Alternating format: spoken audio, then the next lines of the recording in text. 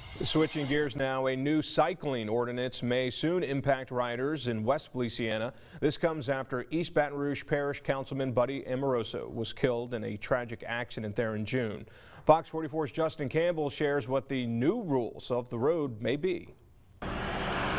In West Feliciana, they want to keep the bicycle spokes turning, but safely. We want to create a less stressful atmosphere on our country roads. Parish President Kevin Couhig in support of a proposed cycling ordinance. Intent is to make sure that the cycling experience is safer for the cyclist and more visible to the drivers who are sharing very very narrow and windy roads. The ordinance would require cyclists to wear 75% highly visible fluorescent colors, also require bicycles to have forward and rear facing light or face a $100 fine. What do you think? I am very against it. Kenneth Kennan, a local cyclist, I'm not gonna, don't plan to put a headlight on my bike. says it's a burden to him and will hinder other cyclists from coming to the parish. When people learn that they have to have lights front and rear and an orange or a yellow fluorescent vest, they're simply not gonna come to this parish. They're gonna go to some other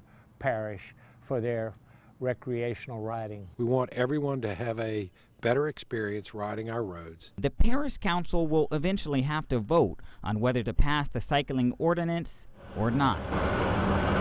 In West Feliciana, Justin Campbell, Fox 44 News. Justin, thank you. Now, homeowners riding within their subdivision will not be subject to this proposed rule.